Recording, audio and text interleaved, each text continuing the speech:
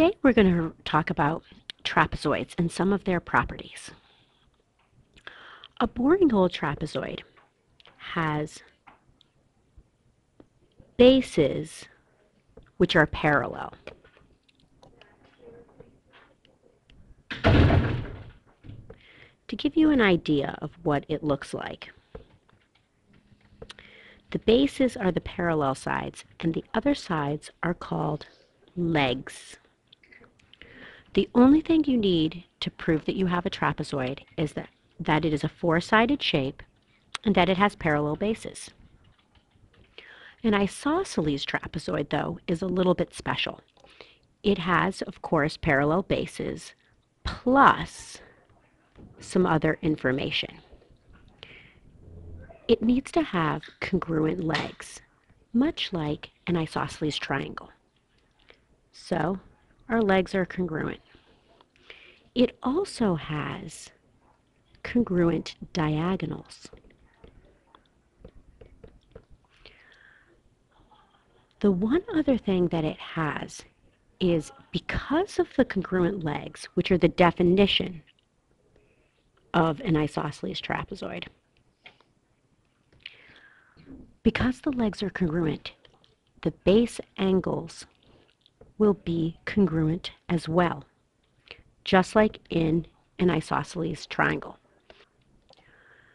So if you need to prove that your trapezoid is isosceles, you can have either of these two things happen. Or if you can get the base angles to be congruent, you can use the base angles converse to get the legs. So if tick, then talk, and its converse totally work.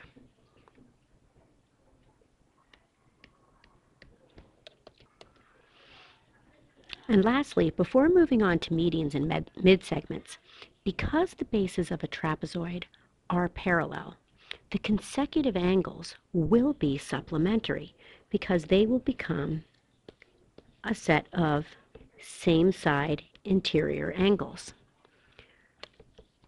So if you know one angle, you can always find the other. For example, if this is 70, this would have to be its supplement, 110. The median, also called the midsegment in some books, is the segment that's found exactly halfway along the two legs. It is the average of the two bases. So this is base 1 and this is base 2. And you want to find the median's length. You would just say the median equals 1 half of base 1 plus base 2.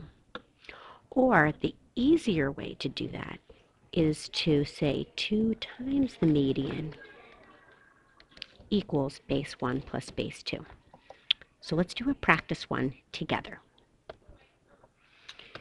If we say this segment up here is 12 and this bottom one is 16 and we wanted to find the length of the median, this is exactly halfway between.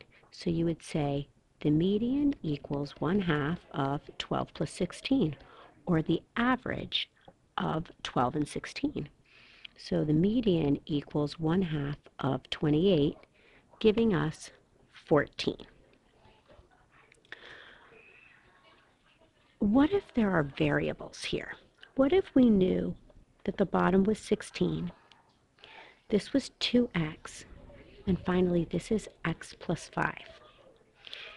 If we plug in everyone we know, saying the median equals 1 half of base 1, 16, plus base 2, x plus 5, you get an ugly number even when you start to clean this up. You're going to be asked to take half of x and half of 21. If you don't wish to do this, this is when you can use 2 times the median. I'm going to double this side and double this side. And now I get a problem free of fractions. I'm going to find out that 3x equals 21, so x is 7. and we get the same answer that we had just a little while ago, where 14 is the middle between 12 and 16. Bring this to class and we'll work on some problems tomorrow.